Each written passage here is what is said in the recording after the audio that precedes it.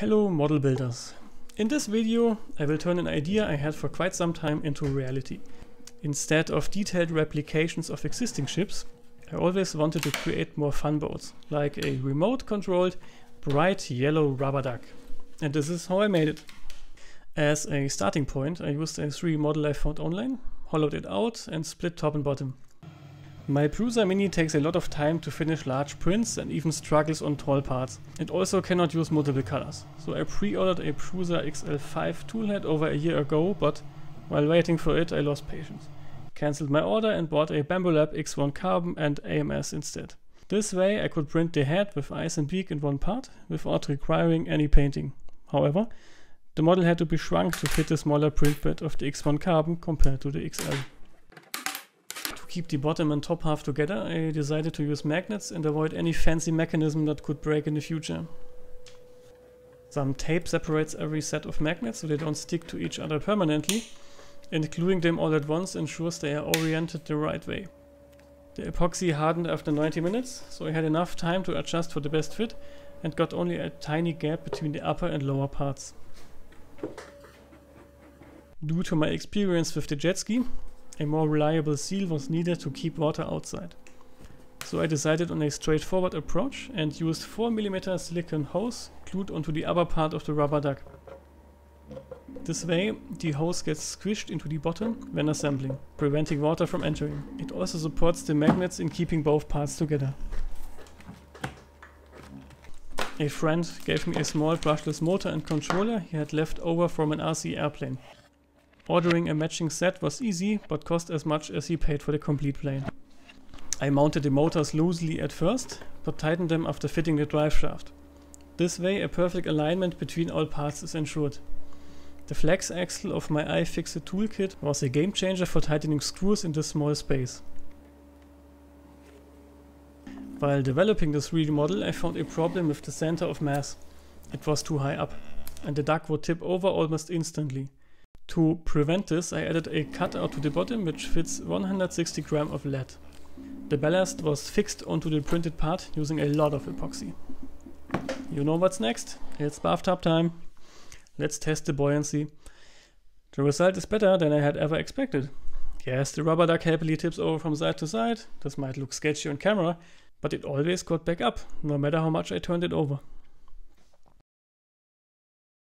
But despite the excellent floating abilities, there was a well-known problem, leakages. I already knew this issue from building my two jet skis and added more layers to the print in advance, but this only delayed the time for water to get in. It's once again time for epoxy and a clear coat to do the job. I designed a tray for the electronic components to hold them and allow easy maintenance. The first design failed because the speed controllers were too close to the turning parts of the motors and everything could have caught fire if any component had ever moved so slightly. While improving this, I added more room for batteries and strengthened the tray to prevent anything from coming loose. After finishing the wiring, I wanted to try the remote control and calibrate the speed controllers. But someone equipped the wrong kind of battery connectors. And to make things worse, I didn't use the easy to remove electronics tray feature and decided to solder while keeping everything in place.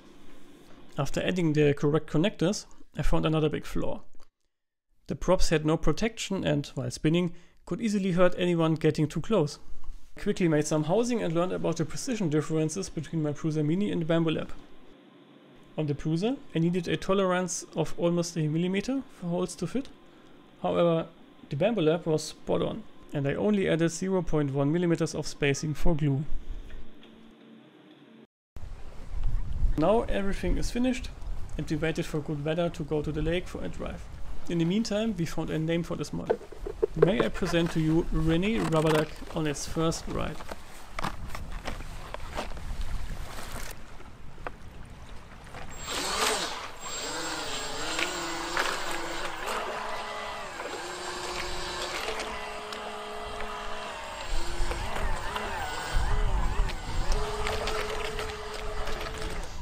Was a bit windy, but thankfully we tested the buoyancy.